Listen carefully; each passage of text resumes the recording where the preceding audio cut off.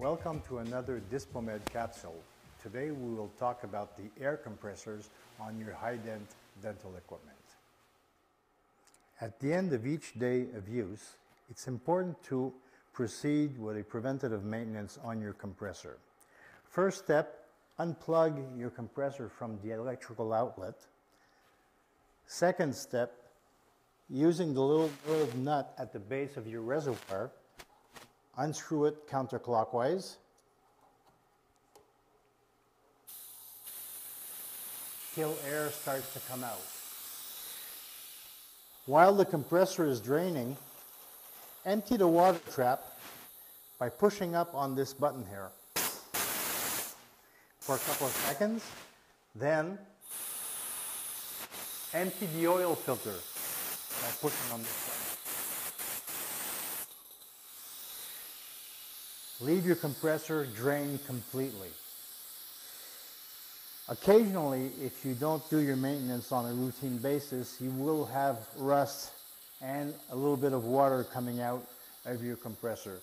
Use a cloth or a paper towel to put underneath it so that you don't stain your floor.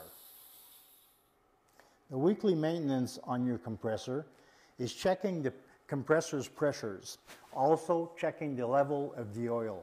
Your compressor has two pressure gauges. The first one at the top indicates the pressure at which the compressor stops. It should stop at approximately 110 pounds. The gauge at the bottom here will constantly indicate approximately 80 pounds. Both of these gauges, you have to observe the red lines, not the black ones. To check your oil level, look at the sight glass in the center of the compressor. The level should be approximately halfway on the sight glass. If the level is too low, we must add oil by removing the nut at the top of the compressor. Use only the approved synthetic oil sold for this compressor and add only 100 milliliters at a time.